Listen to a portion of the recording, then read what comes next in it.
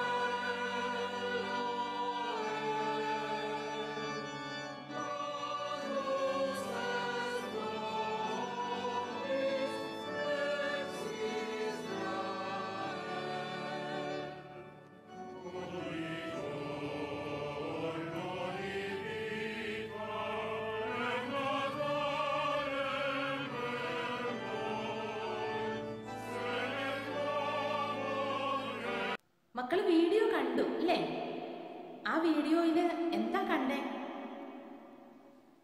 വൈദികരും അൾത്താര ശുശ്രൂഷകരും ഒക്കെ ജനങ്ങളും ഒക്കെ ആയിട്ട് കുർബാനയ്ക്ക് മുൻപേ പ്രദക്ഷിണമായിട്ട് അൾത്താരയിലേക്ക് വരുന്നൊരു ഭാഗമാണ് കണ്ടത്. നമ്മൾ സാധാരണ നമ്മുടെ പള്ളികളിലൊക്കെ പ്രത്യേകിച്ച് തിരുനാളുകളിലും ഞായറാഴ്ചകളിലും ഒക്കെ കുർബാനയ്ക്ക് മുൻപ് ഒരു പ്രദക്ഷിണം അൾത്താരയിലേക്ക് പ്രദക്ഷിണമായിട്ട് വരുന്നത് കാണാറുണ്ട്.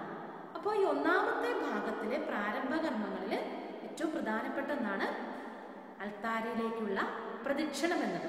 അതിന്റെ വീഡിയോയാണ് മക്കൾ കണ്ടത്. ഇനി അതിനുശേഷം വരുന്ന കാര്യങ്ങൾ എന്തൊക്കെയാണെന്നുള്ളത് അടുത്തൊരു വീഡിയോ കണ്ടിട്ട് മക്കൾ പറയണം. പിതാവിന്റെയും പിതാവിന്റെയും പുത്രന്റെയും പരിശുദ്ധാത്മാവിന്റെയും നാമത്തിൽ. നമ്മുടെ കർത്താവായ യേശു ക്രിസ്തുവിന്റെ കൃപയും പിതാവായ ദൈവത്തിന്റെ സ്നേഹവും പരിശുദ്ധാത്മാവിന്റെ സംസർഗവും നിങ്ങളോടു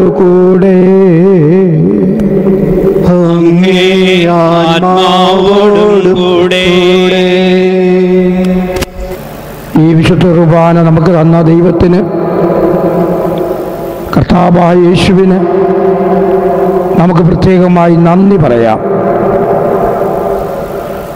അവിടുത്തെ തിരുശരീരവും തിരുരക്തവും ഭക്ഷിക്കുന്ന നമ്മൾ അവിടത്തോട് കൂടുതൽ അടുത്തുകൊണ്ട് മറ്റുള്ളവരോടും കൂടുതൽ അടുത്തുകൊണ്ട് ജീവിക്കുവാനുള്ള വരത്തിനായി നമുക്ക് പ്രാർത്ഥിക്കാം. നമ്മുടെ പ്രാർത്ഥന ദൈവത്തിന് പ്രീതികരമായി തീരുന്നതിന് വേണ്ടി നമ്മുടെ പാപങ്ങളെക്കുറിച്ചോർത്ത് മനസ്തപിച്ച് നമുക്ക് ഏറ്റു പറയാം സർവശക്തനായ ദൈവത്തോടും സഹോദരങ്ങളോടും ഞാൻ പറയുന്നു എന്തെന്നാൽ വിചാരത്താലും വാക്കാലും പ്രവൃത്തിയാലും ഉപേക്ഷയാലും ഞാൻ വളരെയേറെ പാപം ചെയ്തു പോയി. എന്റെ എന്റെ പിഴ എന്റെ വലിയ പിഴ. ആകയാൽ നിത്യകരികയായ എല്ലാ മലാക്കന്മാരോടും വിശുദ്ധരോടും സഹോദരരെ നിങ്ങളോടും ഞാൻ അപേക്ഷിക്കുന്നു. എനിക്ക് വേണ്ടി നമ്മുടെ കർത്താവായ ദൈവത്തോട് പ്രാർത്ഥിക്കണമേ. സർവേശൻ നമ്മിൽ കാരുണ്യം തൂകി പാപങ്ങൾക്കെല്ലാം മാപ്പേകി. നിത്യമാം ജീവൻ നൽകാൻ സന്തരം നമ്മെ നയിക്കുമാറാകണം.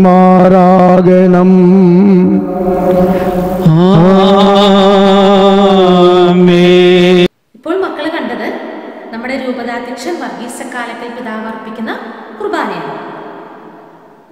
കുർബാനയിൽ നമ്മൾ ഇതിനു മുൻപ് കണ്ട വീഡിയോയിൽ കണ്ടു.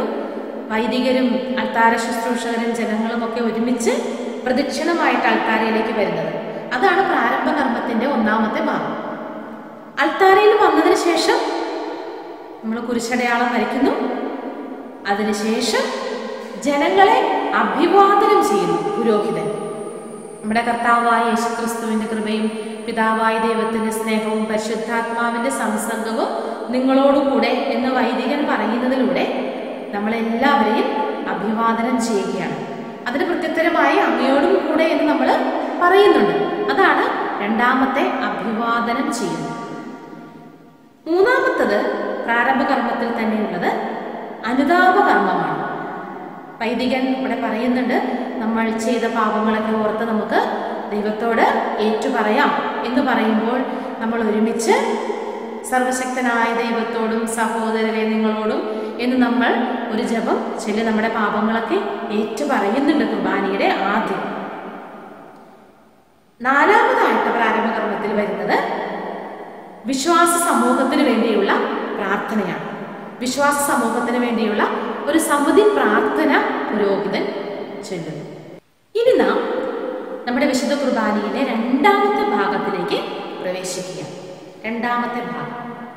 രണ്ടാമത്തെ ഭാഗം എന്താണെന്ന് മക്കൾക്ക് അറിയാമല്ലോ നമ്മൾ ആദ്യം പറഞ്ഞിരുന്നു വചന പ്രഘോഷണ കർമ്മം.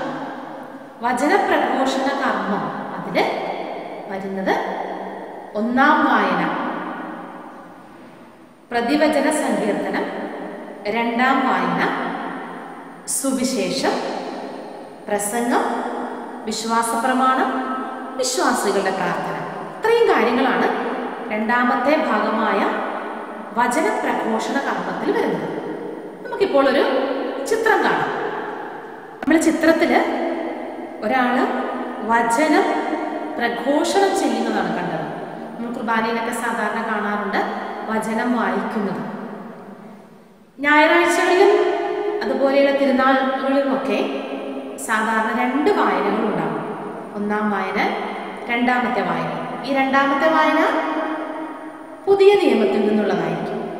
ഇനി ഒന്നാം വായനയ്ക്ക് ശേഷം ഒരു പ്രതിവചന സങ്കീർത്തനം ഉണ്ടാകും. ഈ പ്രതിവചന സങ്കീർത്തനങ്ങൾ ഈ സങ്കീർത്തനം നമ്മുടെ പഴയ നിയമത്തിലെ സങ്കീർത്തനം എന്ന ഒരു പുസ്തകത്തിൽ നിന്നും എടുക്കുന്ന സങ്കീർത്തനങ്ങളായിരിക്കും. അപ്പോൾ ഒന്നാം വായന പ്രതിവചന സങ്കീർത്തനം രണ്ടാം വായന. അതിനുശേഷം നമുക്കിപ്പോൾ മറ്റൊരു ചിത്രം കാണാം.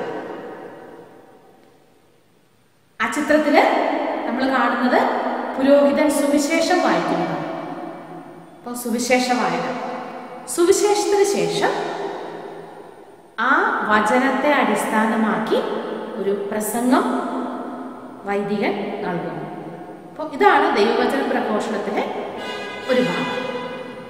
പ്രസംഗത്തിന് ശേഷം ഞായറാഴ്ചകളിലും അതുപോലെ തിരുനാൾ ദിവസങ്ങളിലും ഒക്കെ നമ്മൾ വിശ്വാസ പ്രമാണം ചൊല്ലുന്നു. വിശ്വാസ പ്രമാണത്തിന് ശേഷം നമ്മൾ ഒരുമിച്ച് വിശ്വാസികളുടെ പ്രാർത്ഥന നമ്മുടെ പ്രാർത്ഥനകളൊക്കെ നമ്മൾ ദൈവത്തിന് സമർപ്പിക്കുന്നു.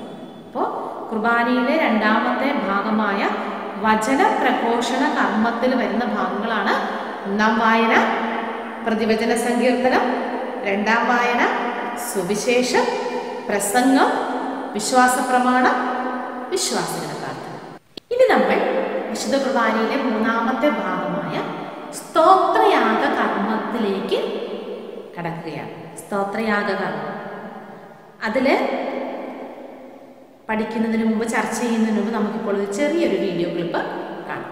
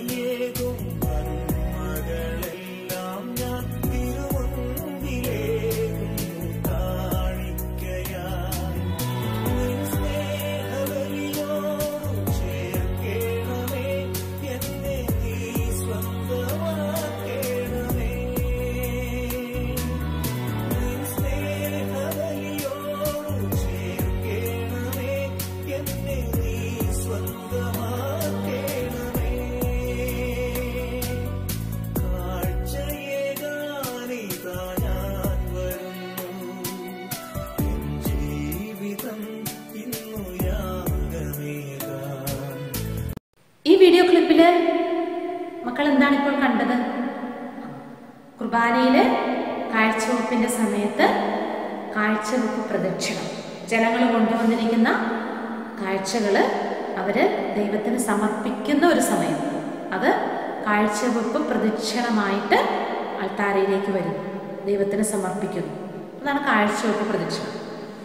പിന്നെ അതിനുശേഷം അതൊക്കെ സ്വീകരിച്ചതിന് ശേഷം വൈദികർ അൾത്താരയിലേക്ക് പോകുന്നു. അവിടെ ചെന്ന് കാഴ്ച സമർപ്പണത്തിനുള്ള വസ്തുക്കളൊക്കെ ഒരുക്കുന്ന ഒരു രംഗം നമ്മൾ കാണുന്നുണ്ട്. വിശുദ്ധ കുർബാനയിലെ മൂന്നാമത്തെ ഭാഗത്തിൽ ഈ കാഴ്ചവെപ്പ് പ്രദക്ഷിണം മുതൽ ദിവ്യഭോജന പ്രാർത്ഥന വരെയുള്ള കർമ്മങ്ങളാണ് ഉൾപ്പെട്ടിരിക്കുന്നത്. നമ്മൾ വീഡിയോയിൽ കാഴ്ചവെപ്പ് പ്രദക്ഷിണം നമ്മൾ കണ്ടു. കാഴ്ചദ്രവ്യങ്ങൾ വൈദികർ ഒരുക്കുന്നത് നമ്മൾ കണ്ടു. അതിനുശേഷം നൈവേദ്യ പ്രാർത്ഥന ആമുഖഗീതി. തുടർന്ന് നമ്മൾ പരിശുദ്ധൻ പരിശുദ്ധൻ പരിശുദ്ധൻ എന്ന് പ്രഘോഷിക്കുകയോ പാടുകയോ സാധാരണ കുർബാനയിൽ ചെയ്യാറുണ്ട് പിന്നെ വരുന്നത് സ്തോത്രയാഗ പ്രാർത്ഥന. ദിവ്യകാരുണ്യ സ്വീകരണ കർമ്മം ദിവ്യഭോജന പ്രാർത്ഥന. ഇതോടുകൂടി വിശുദ്ധ കുർബാനയുടെ മൂന്നാമത്തെ ഭാഗം അവസാനിക്കും. ഇനി നമ്മൾ അടുത്ത നാലാമത്തെ ഭാഗത്തിലേക്ക് പോവുകയാണ് സമാപന കർമ്മങ്ങൾ. അതിനു മുൻപ് നമുക്ക് കുർബാനയുടെ തന്നെ മറ്റൊരു വീഡിയോ കർത്താവ് നിങ്ങളോടുകൂടെ തന്റെ ഏകജാതന്റെ ഉത്ഥാനം വഴി വീണ്ടെടുപ്പിന്റെയും ദത്തെടുപ്പിന്റെയും ദാനം നിങ്ങൾക്ക് നൽകാൻ കനിവുണ്ടായ ദൈവം. തന്റെ കൃപയാൽ ആനന്ദഭരിതരാകാൻ നിങ്ങളെ അനുഗ്രഹിക്കുമാറാകട്ടെ. അവിടുത്തെ വീണ്ടെടുപ്പ് വഴി ശാശ്വത സ്വാതന്ത്ര്യത്തിന്റെ ദാനം നേടിയ നിങ്ങൾ അവിടുത്തെ മഹാമനസ്കതയാൽ നിത്യാവകാശത്തിൽ പങ്കാളികളായി തീരുവാൻ ഇടയാകുമാറാകട്ടെ. വിശ്വാസത്തിലൂടെ ജ്ഞാനസ്നാനത്തിൽ ക്രിസ്തുവിനോട് ഉയർത്തെഴുന്നേറ്റ് നിങ്ങൾ ഇപ്പോൾ സുഹൃത ജീവിതം നയിച്ച് പിതൃരാജ്യമായ സ്വർഗത്തിൽ ഒന്നുചേരാൻ യോഗ്യരായി തീരുമാറാകട്ടെ. പിതാവും പുത്രനും പരിശുദ്ധാത്മാവുമായ സർവശക്തനായ ദൈവത്തിന്റെ അനുഗ്രഹം നിങ്ങളിൽ വന്നണഞ്ഞ് എന്നും നിലനിൽക്കുമാറാകട്ടെ. പോകുവിൻ ദിവ്യപൂജ സമാപിച്ചു. Alleluia alleluia